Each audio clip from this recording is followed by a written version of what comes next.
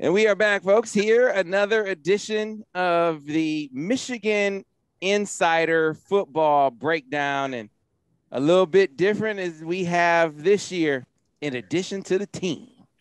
Uh, and this man is one of the authorities, at least for me, when I have a question about football. He is absolutely one of the guys that I call because I was once told by a good friend of mine, Marcus Ray, he said, "Hey man, uh, you know Charles Woodson, Hall of Famer, best player to ever play, one of the one of the probably the best defensive back to play in our lifetime, one of the best to ever play at Michigan, if not the best. Yeah, Vance Bedford taught him how to taught him how to backpedal. Is that true, Vance Bedford? You taught you taught Charles Woodson how to backpedal, man?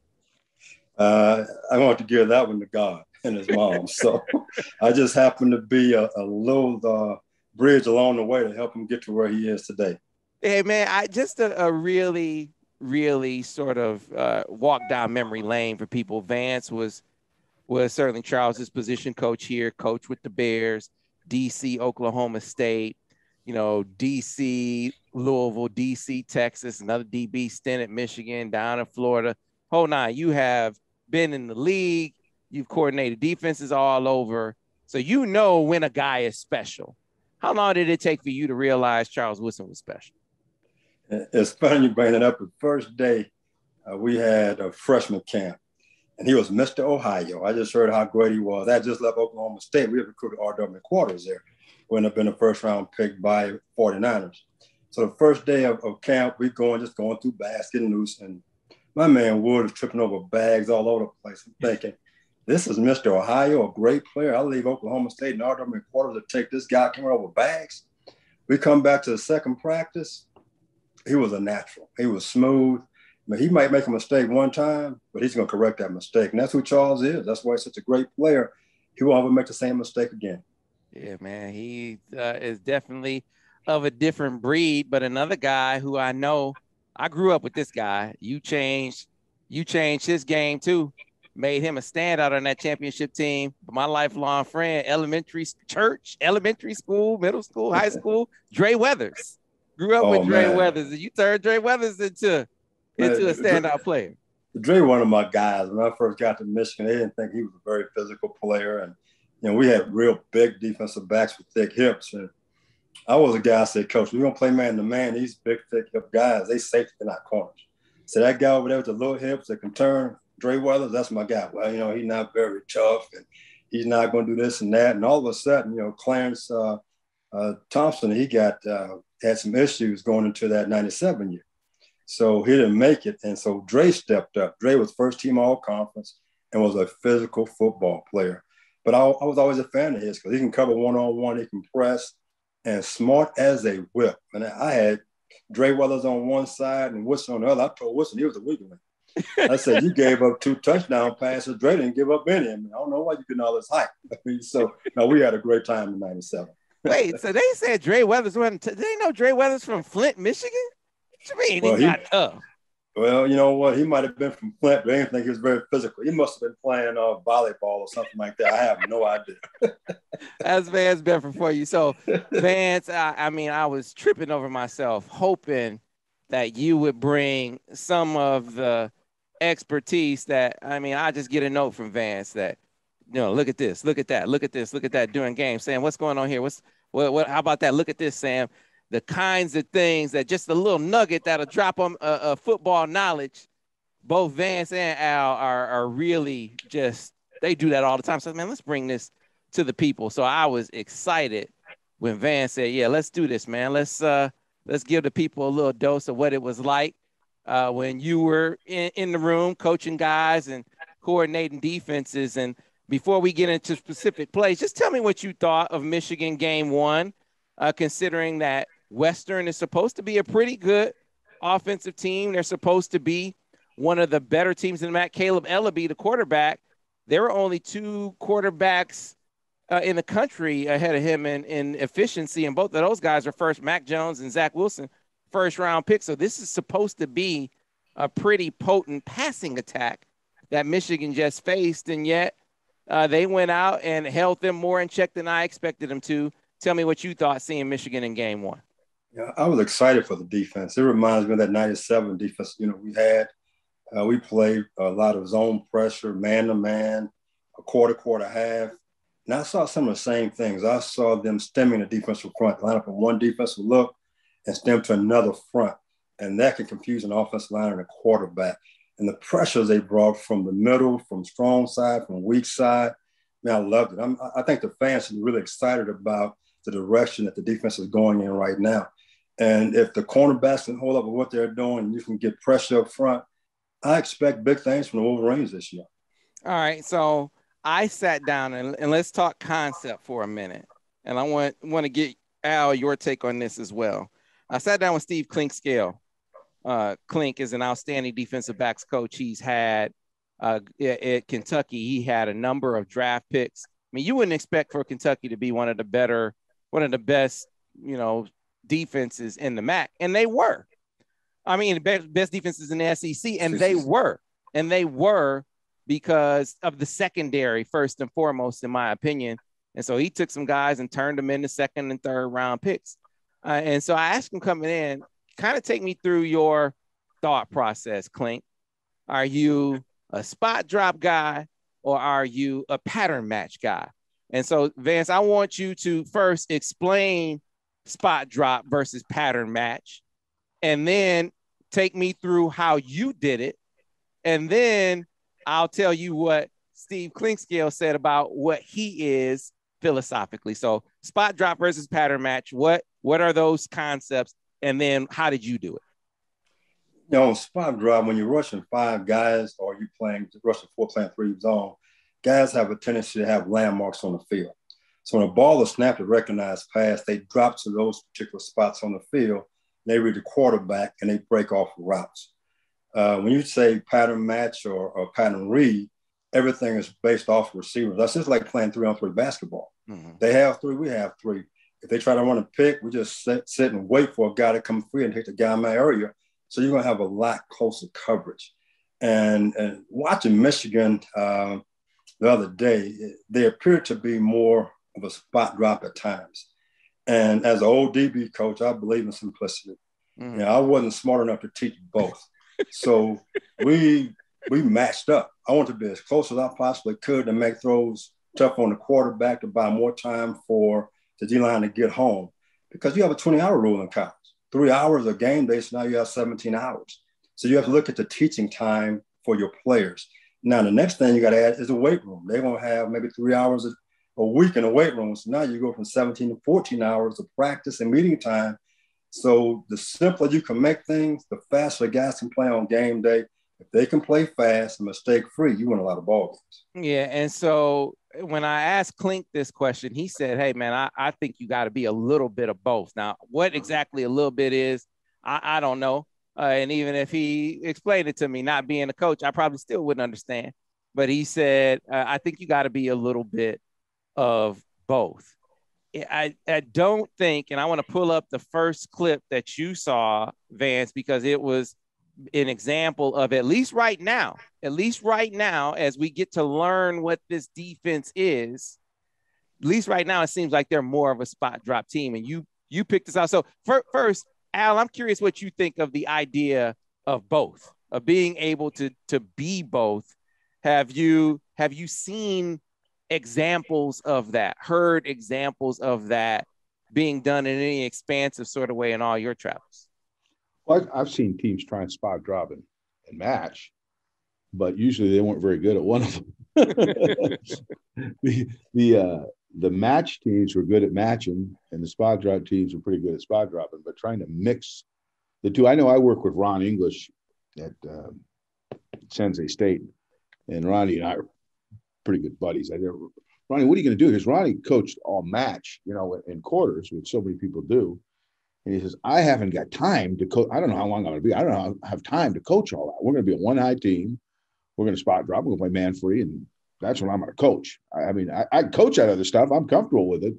But I don't know if I can get the message sent in time to to get where we want, you know. So his deal was he loved coaching match zone, but he just didn't think he could do both and do it effectively. And as I've seen more and more teams, and I noticed the NFL's going to more spot drop because in my day, when I first, everything was spot drop. There were no match zones. But as I got more into it, uh, cover four revolutionized offensive football as much as defensive football, in that people were, as coach was saying, the, the, the coverage got tighter, the throws got tighter, and uh, it was you had to rethink how you were attacking defenses. With the spot drop teams, you, you could check the ball down and you know throw eighty percent of your passes complete and and uh, and you know move the ball really with your passing game. But I think what a lot of people did use use your running game as uh, use your passing game as kind of a running game. Whereas I think what what what the matches did is the match zones kind of took a little bit of that away. Mm-hmm. So I always say, guys, so what, what's the biggest changes for you in football? I started coaching in 1976, and the, the things that revolutionized offensive football were quarters coverage and zone pressures because one made you rethink how you were going to attack the perimeter with your stretch concepts, and the other one made you rethink your pass protection. So, gotcha. All right. So, Vance, very, very early, and I'm gonna pull up the first illustration here, Vance, and you can talk us through it. So, let me share it on the screen. And so you, you highlight, tell me, tell me, tell the folks about the highlights here. You know, the key right now is for the nickel and the safe as you see them tied together. Mm-hmm. So I have those guys highlighted because the nickelback's coming, the safety is going to replace him in a particular zone. And now the quarterback is going to read safety down to the nickelback mm-hmm. as far as his reason where to go with the football. And the back is blocking away from the protection. A lot of people like to blitz the back. So therefore they slide the protection away from where the back is. And he's going to go to the tight end side protection. Right. And so you saw this, uh, and this was an example to you that hey, Michigan, at least right now, uh, to to sort of keep with what you said, you know, uh, what is what is keeping it as simple as possible. Like, like Al said, for for them right now, it seems like it's only one game, but it seems like they are skewing more towards being a spot drop team. And you looked at this play, say, oh yeah, this this is an example of that. And so as we roll back through the telestration, you can tell the people how you spotted spot drop. Like, what were your keys to tell you this is a spot drop versus them being a pattern match team? So you can talk them through it as we get through the telestration, and then we get to the play. So, what did you see there to let you let you know that? What what would be the difference if they were pattern matching? Right now, first of all, I would talk about the formation, the cut splits to the field and cut splits to the bottom. I would think you might get double crossing routes, or you can get some type of uh, smash route, as a corner routes and a hitch route to the field. So when the safety dropped down, I watched the safety and both linebackers, their eyes went directly to the quarterback. Mm-hmm. So therefore, they're going to be late to break if uh, as far as what's going on. So if I was just teaching this safety coming down, so right now as he came down, I don't care about the quarterback. I'm working number two receiver to number one, and I'm pushing right now to the guy in the flat. Mm-hmm. And the cornerback's climbing on the top. Now, if you look at the middle linebacker, he should be pushing a little bit wider to his side because everything's coming to him. So you can see the linebackers and the nickel back, everybody's eyes on the quarterback right now. And that's an example of spot dropping. The quarterback tells you where you have to go. Mm-hmm. And so, really, uh, uh, there was no, I mean, they they had a good play call for this. They, they weren't going to stop that uh, at this point, well, right? Right now, you could say that, but again, you don't know what this team's going to do the first game. That's a problem. But see, Michigan's only rushing 4 mm-hmm. That means they have four underneath. So what they could have done with the safety rolling down is bring them right down on the top of the receiver on the line of scrimmage. Mm-hmm. That'll put them in closer proximity to the guy going in the flat because they rush him four and they drop him four. So they have enough guys per se to stop this route. They would see this route again in the Big Ten. Okay. And you don't want to give this up to Ohio State, who might have a guy could run, you know, a four three and a forty, and now you got to make open field tackle. Gotcha. All right. So that's an adjustment they're gonna have to make. Gotcha. All right, Coach Bedford. So another one, and so both of you guys work with a coach named Greg Mattison, and both of you, both, both of you guys had the same reaction to this blitz, to this blitz, and so I it made me, as you talked about, it's like, well, is it a Ravens blitz or is it a Greg Mattison blitz?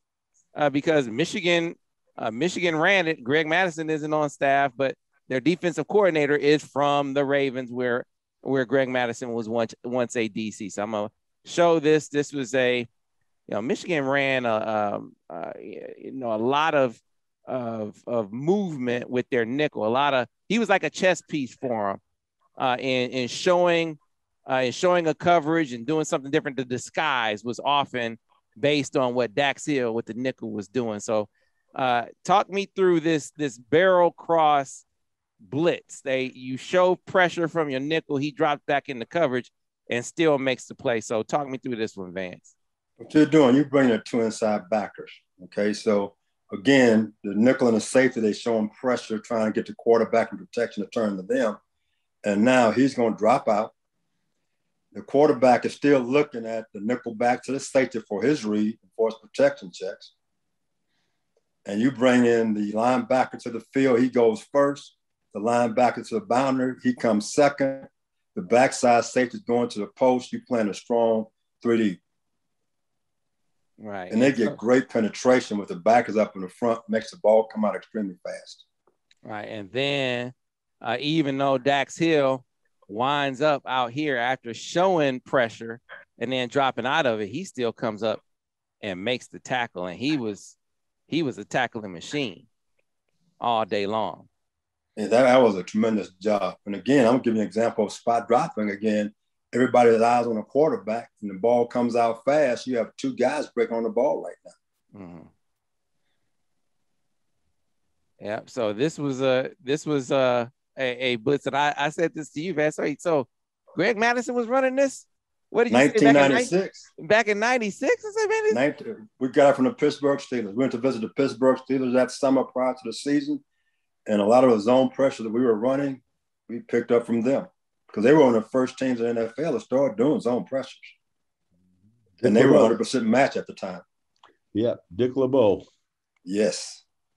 And we spent two summers in a row going visit the Steelers. And a lot of guys in the NFL who left the Steelers, they went to the Ravens and Carolina and other people. And uh, that's where most people got it from. We used to call it 2 3 match. We were 100% match coverage. We didn't drop very deep. We wanted to lock on guys as quick as we possibly could and buy time for the front to get there. And the best thing I saw in that diagram there is the nickel back showing pressure because now the offensive tackle and the back, they got to eyeball him that enables the, the two backers to have a chance to come scot free or get pressure on the quarterback, which is what they did. All right. So let's talk about one where the nickel, from a coaching perspective, you're going to be talking to him a little bit different.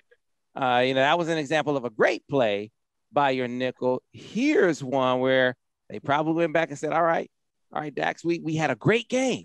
We had a great game, Dax this is a this is something that we're going to see from other teams. They're going to try to attack us with this with this three level flood. Let me share this screen so you guys can can see it and talk us through it. All right, so the telestrations will, will start firing Vance, and then you can uh you can go. So the reads fire first for the quarterback. Still, the quarterback still looking at the safety to the nickel back.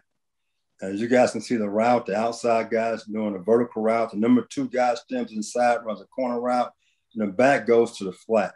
This route takes a long time. A lot of people don't want to run this route. It's good versus any coverage if you have time. So if I was a defensive coordinator, I'm going to my defensive line coach and say, give me some pressure. This, this is a four second throw. Let's get a push in it. Now I'm going to the secondary.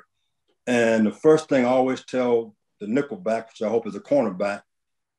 If number two stems inside, gain width and depth, that nickel back is playing like a corner right now.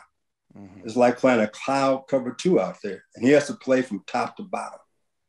So if number one, the back comes at him and two releases inside, gain width and depth, play the corner route back to the low throw on the flat. Let's see what happens. All right. So uh, I know I have him squ- coming up a little bit. He really didn't step that far up. He he stayed. He kind of maintained his position here instead of getting depth and working his way up to the flat, and so they were able to go behind him.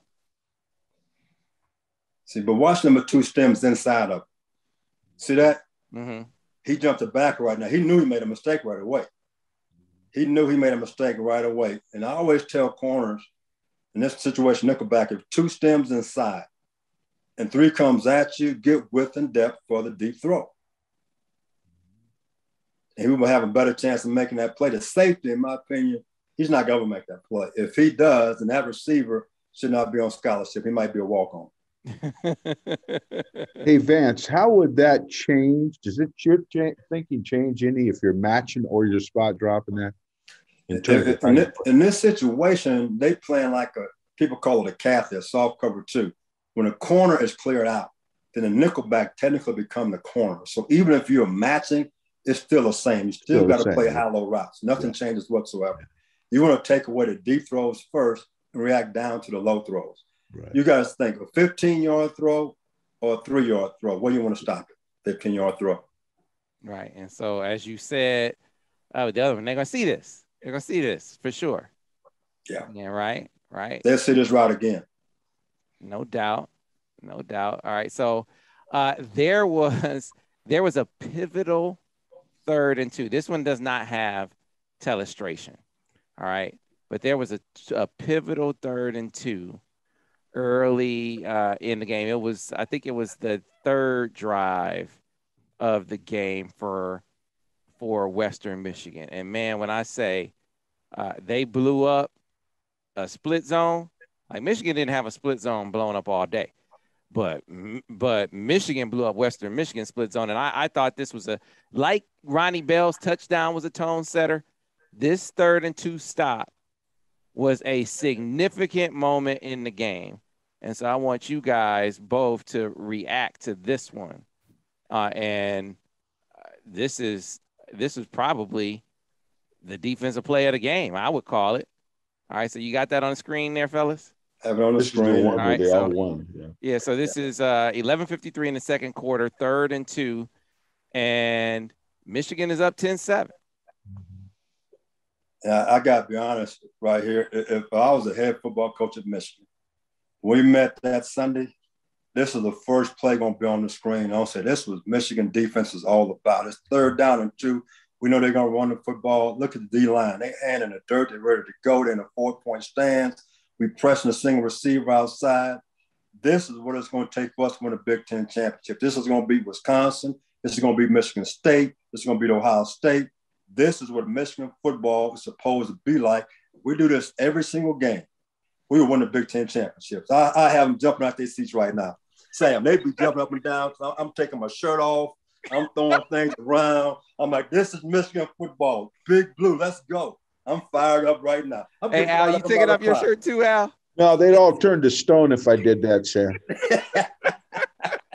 all right. So split zone is two, you need two yards. They run a split zone. And so first, Aidan Hutchinson. I mean, this is where the back wants to go. Aidan Hutchinson is in the backfield right now. And he and it wasn't with power. Vance, he he hits him with a swim move, and Aidan Hutchinson is in the backfield redirecting the play. He is. And and, and when a D line play is that great, the linebackers are free. The linebacker runs through, they have to get on the tackle. That's how Michigan should play defense every single snap. See, but Watch the backside. The backs. Look at where the line of scrimmage line is, and look at the impact of the backside on on on on when the ball snapped, where all the offensive players are. Watch this. Everybody is a yard to a yard and a half behind the line of scrimmage line. You can see the line of scrimmage line there in uh, black. Yeah, man. And it was crazy because he tried to redirect, and Mike Morris, well, like you said, first the uh, Chris Hinton has pushed the center into the backfield. Mike Morris, he splits, he splits the, uh, you know, the, the tackle, the guard. guard. Yeah. He splits the tackle in the guard and blows them into the backfield. And then the, your edge guy, he blows up the tight end coming coming across. Everyone, everyone up front destroyed their man yes. on this play. God, dog, look at what the look at what the nose is doing. That's impressive. Yeah. Now I know Al as an offensive coordinator, he's watching this play. So I could tell you the next third down and play, he will give me the same formation. He's going to tell the quarterback to keep the ball around the edge because nobody was there. Is that not true, Al? Yeah, probably. And so if I'm not watching, somebody better be watching that. That's right. because we didn't hold up too well trying to get a yard going straight at him. So it's time to Mhm. finesse him and really piss him off. And so Because- one, one of the things you talked about, Vance, was disguise. You really highlighted, uh, and this is something that the player Vincent Gray um, talked about. Hey, man, you know we're we're given a lot of different looks out there. I'm learning a lot. We're doing a lot different. What I found most interesting was Ronnie Bell. So Ronnie Bell during fall camp was in a was in one of the press conferences, and he said, you know, it used to be I come to the line of scrimmage, I know exactly what the defense is in. I know exactly what they're doing. Said now, you know, spring ball, fall camp, I don't necessarily know when we come to the line of scrimmage what the defense is going to do, uh, what cover, what the coverage is going to be. And so, Vance, that was one of the things that you really harped on a lot in this game, the disguises that they offered. So I'm going to uh, show this was this was one example that you really highlighted. Like this is really good, good disguise, Sam. And so you can talk to people through what you're talking about here. All right, so we got this on the screen. No illustration on this one, Vance, but Okay. tell me what you see right now pre-snap. If I'm the quarterback, I see a four-man rush. Look, I'm thinking they're playing cover two. They've been playing mostly quarter, so I think I'm gonna have time to throw the football because we could be in six-man protection, and now we can run our base routes because only four-man look. And I think that's it's a soft look. The backer to the boundary, he's walked out. So mm-hmm. I'm thinking he's not coming. The safety's sitting deep, he's not coming. So mm-hmm. I think I'm in good shape to have time if it's a pass to throw this football right now on second down alone. Right. All right. So then you let it roll.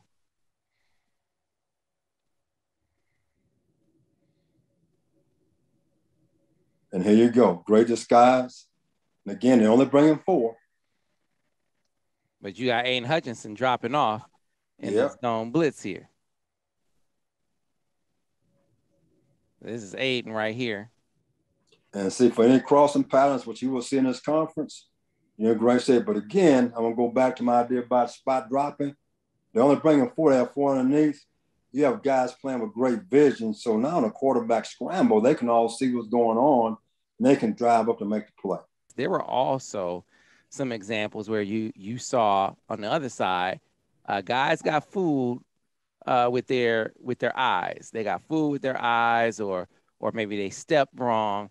We'll show one where it was an example of you know they kind of let a guy go uh, in the middle of the field uh, with uh, with showing some pressure, backing out of it, but but allowing themselves to be leveraged a little bit with some routes. So I'm going to show this.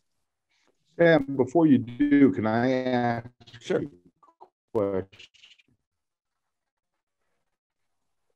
Um, Vance, how many shells would shell would you describe describe from a one eye shell, or would the one eye shell would have maybe two different coverages or three different coverages, and then for the two shell you may have ten different coverages. I guess I'm just asking when you show a shell, how many times First and second down. Now, with yes, split with safety safety. Now, on third down, I'm going to give you even probably more of a single high look and being able to go to two to a two shell. Mm-hmm. Because I want the quarterback to think we're going to go hit him. Right. And then all of a sudden you can drop and have two deep or playing quarters behind it. All right. All right. So let's go ahead and show this. We'll call this bad zone D. We'll just call this bad bad zone D. An example where, all right, you know, in the meeting, you said, all right, fellas, we had a good game. We blew up that third and two. This Michigan, this is Michigan defense. But this one right here, we're gonna have to clean up. I'm say I'm going to call it more of a misassignment than bad defense. We can clean this up with a, some fundamentals. So right now, Al, that's what we just talked about. Freaking, I don't know if you can freeze. it. You got single high. Okay, it's third down and ten. We're trying to show pressure. The backers all walked up in the A gap. We're playing two, three techniques. So we're attacking protection right now, and they're going to roll to split safeties. In other words, too deep. And the biggest thing when a Mike backer comes out, he should be aware of the split of the number two receiver. I don't believe he is. Mhm. With those kind of splits of the two outside receivers, it's a good chance those guys gonna work the middle of the field. And same thing for the backside backer. All right. They're showing pressure. And says the backer comes out, he must not allow that receiver inside. That you, you got him highlighted. Right. So these are your backers right here. Yes. You can't allow him inside. And the backside backer. There you go. I'm watching the highlights. The will backer needs at least be 10 yards deep to the sticks. Mm-hmm. If the will backer is to the sticks on third and 10, he might make this play. So both backers are wrong here. But it starts with the formation and the splits. Good tackling in the secondary. All day long. Because the first thing you, you teach linebackers in the secondary, you teach down and distance, and you teach splits, formations. How can these guys attack us? And right now, I don't think these guys, first game of the year, were aware of that. For the mic coming out, the guy's on him too fast. He's not ready. Look where his eyes are his eyes went right to the quarterback, and the receiver beat him inside. Yeah, if he got a redirect on that, the quarterback might hold it for a beat, and he gets destroyed by Aidan Hutchinson. This was a great pass rush. Yeah, it's a great pass rush. Yeah, if he holds it another split second, he is toast. He is done for on that play. So uh, again, there was a lot though, a lot to to really look at that game and say they showed they showed some real improvement. The one that I really want to focus on, Vance. So t- talk me through defensive back technique because Vincent Gray had himself a rough season last year. I mean, everyone knows it. He's talked about it. Uh, you know, teams took liberties. They just threw it up, and if it wasn't a completion, it was going to be a PI. So there was some rebuilding of confidence. Mike Macdonald, they talked about during the broadcast, that maybe the the, the toughest thing for them as a coaching staff for this team wasn't teaching scheme. It was sort of maybe infusing them with, with confidence or rebuilding their confidence. I think there's probably no bigger example of that than Vincent Gray. Now, on this play, as I share the screen here really quickly, okay. he is facing the fastest player on Western's team. All right. So let, let's let's stipulate that for the people at the very beginning. He is facing the fastest player on their team and one of the fastest players in college football. This guy is a bona fide sub 4 440 guy. All right. And man to man coverage, they're going to take a shot. And they took a shot here at Vincent Gray Vance. And so I'm going to take it to a certain point. Now, right here, Vance, this is technically the receiver has a step and a half on him. That's technically he's beat.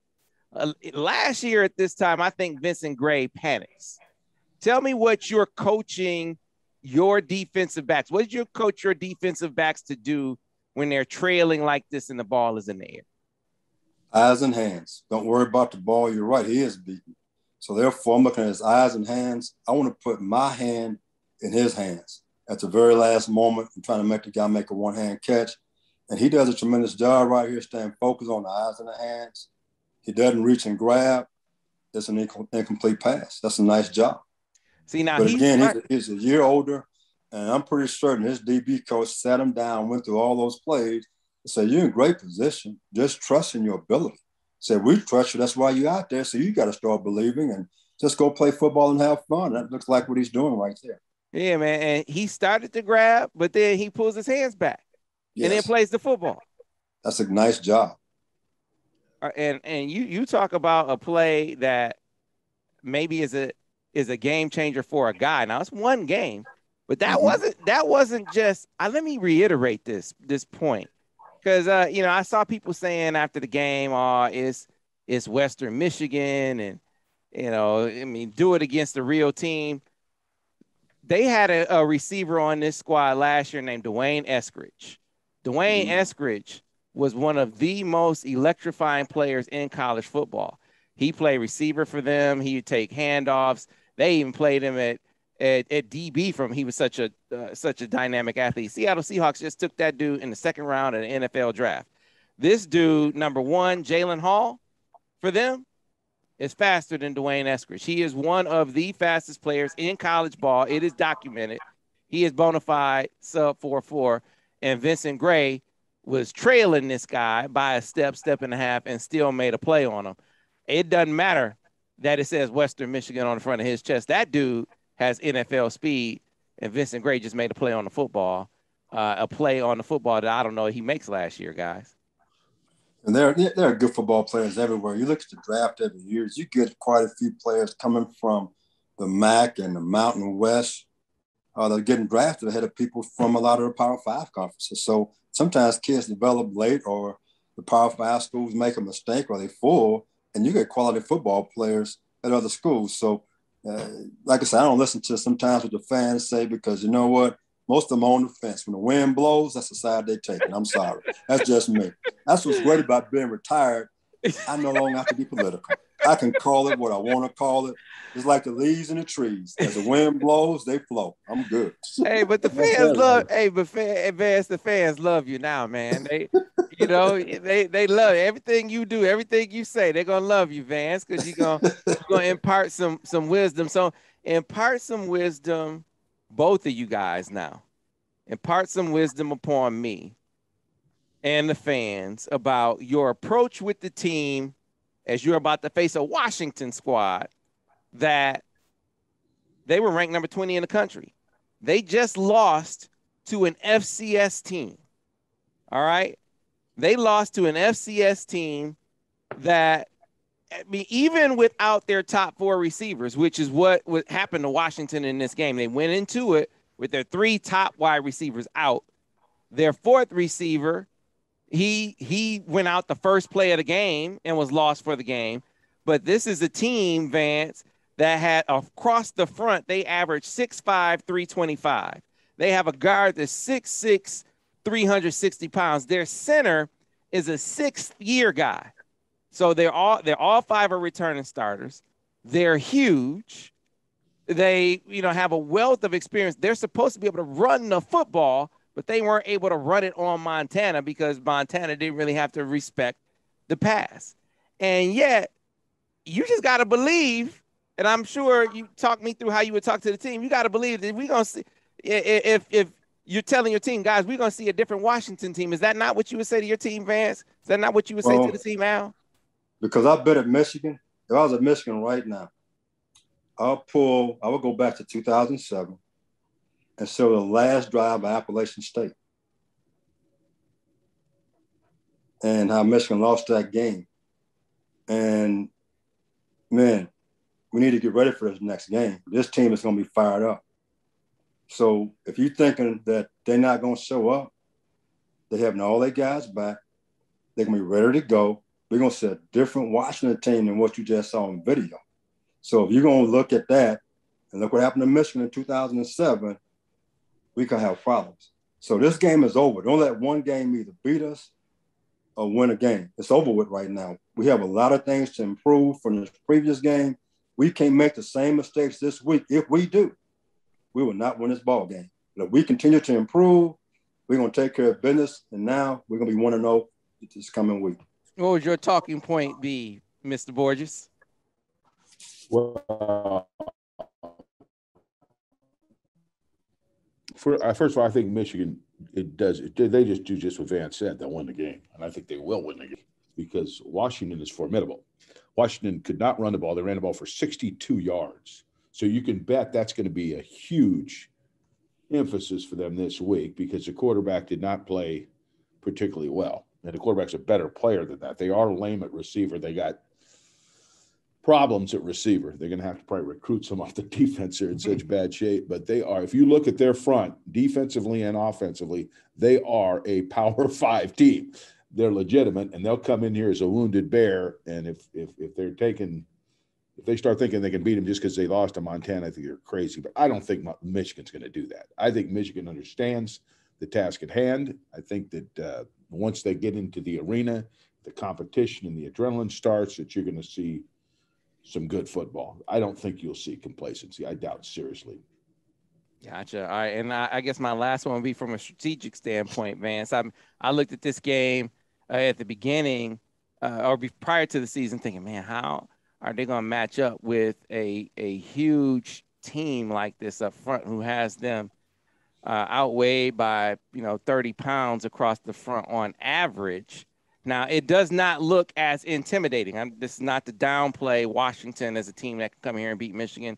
They certainly can, uh, but I had serious, serious questions about Michigan's front defensive front being able to hold up against that offensive line from a defensive strategy standpoint. If you're going against a huge offensive line, what can you do tactically? What can you do strategically to, to maybe mitigate that size disadvantage? What are some of the strategies you would employ against huge front when you were at a size disadvantage against a team like that? I, I think Michigan showed that in the first ball game. I mean, you line up in one front, then you stem to a different front. Mm-hmm. They did a lot of angling, angling and slanting. In other words, they move in the front quite a bit they're bringing a nickel back. They bring the Mike Backer. They bring the free safety. So you keep guys on the move. You just sit a guy in front of a 6'6", 300 pound guy the whole ball game, he's going to get killed. And so I want to tell all my guys up front, everyone on this football team will have the opportunity to make a play.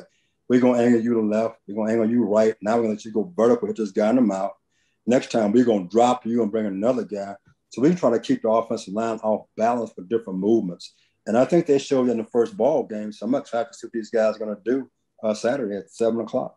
All right.